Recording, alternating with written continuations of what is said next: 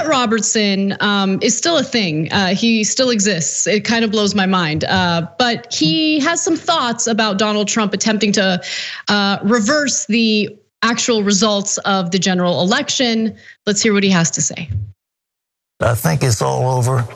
I think the Electoral College has spoken. I think the the Biden uh, corruption uh, has not uh, totally been brought to to uh, fruition, but it doesn't seem to be affecting the Electoral College.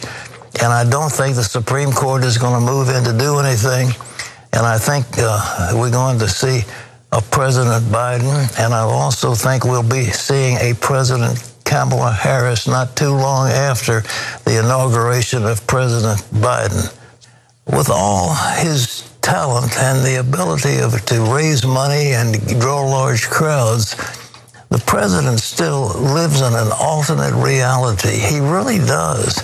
People say, well, he lies about this, that, and the other, but no, he isn't lying. To him, that's the truth.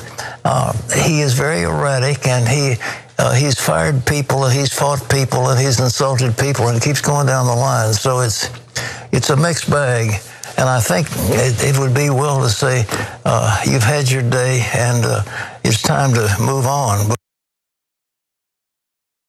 Wow. Trump when, lives in an alternate reality. When Pat Robertson thinks you're being erratic, you got issues. I mean, these are among this guy sells miracle shakes. This guy's among the folks who's told you that hurricanes come because of gay people, etc. And he's like, you know what? I believe I, will buy the miracle shakes. Pat Rob, like, look at him holding on for dear life and you good for him. Maybe there's something in those shakes. Okay. Maybe maybe i should buy those shakes. I want to live a nice long life. But anyway sorry to interrupt you. Go ahead. You know that's okay but i like the pot shot he took at biden too. He's like and uh, soon after biden gets inaugurated kamala harris will be president. Like biden's too old. Dude have you looked in the mirror in the last 280 years? Okay. But but Pat Robertson, of all people, thinks Trump is erratic and an obvious liar. He's like, well, look, to him, it's not a lie because he lives in such an alternate reality. He thinks it's true. He's calling Trump nuts. Now, look, that's obvious to the rest of us.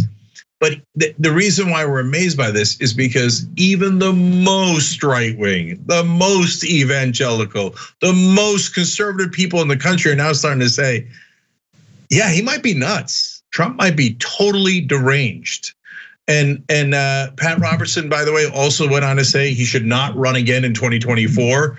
Uh, he and that's why it was. A, he said it would be a mistake and a sideshow if he did that.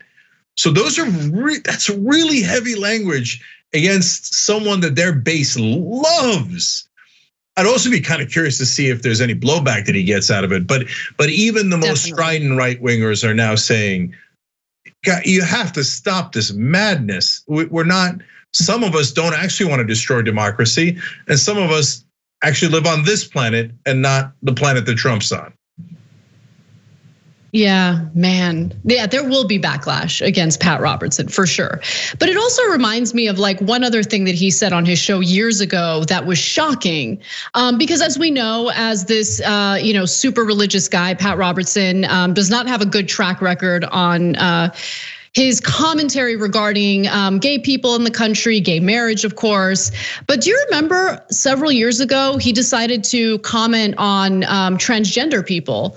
And he was shockingly like logical and kind.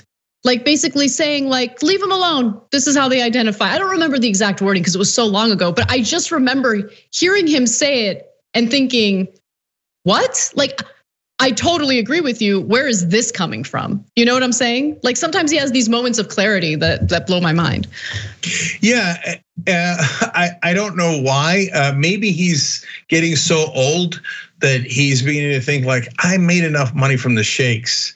Maybe like once a week I'll say something that's true. Um, yeah. And remember, Robertson had also said that God had made a decision to choose Donald Trump as president again. So I mean, it's not mm. like he's not in favor of Trump. He already told his audience that God had picked Trump. So now he's got to come out here and go, uh, God of my bad. Turns out God didn't pick him.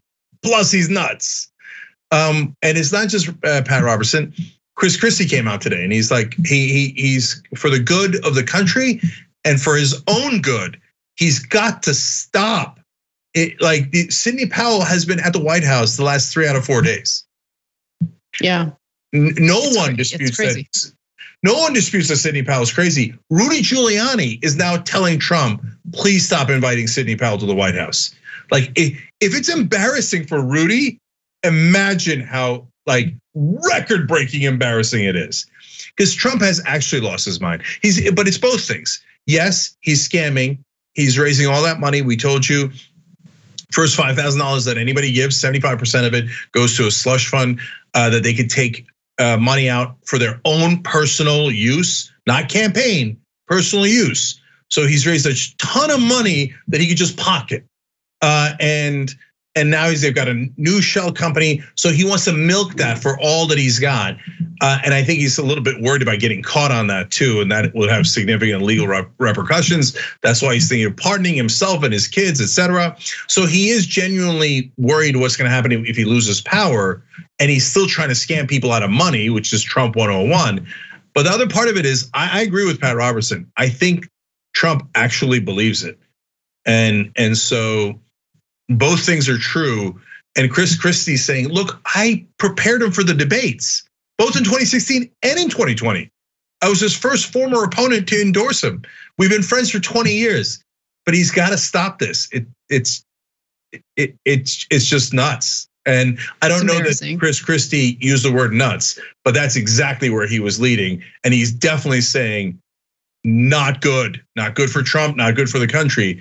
Now, and I and I hope that this at least helps a little bit because remember they were all programming the right wing at the same time, right? Stolen, Smartmatic, the voting machines, the uh, poll observers, uh, the massive dumps, and all the crazy Kraken, all the crazy things they were saying, right? Yep. So now when the couple of them in the cult go, nah, the cult leader is actually a little un, unbalanced. You guys should back away from the room slowly. That's got to be, I hope, a good sign. Thanks for watching The Young Turks. Really appreciate it. Another way to show support is through YouTube memberships. You'll get to interact with us more. There's live chat emojis, badges. You've got emojis of me, Ana, John, JR. So those are super fun. But you also get playback of our exclusive member only shows and specials right after they air. So all of that all you gotta do is click that join button right underneath the video. Thank you.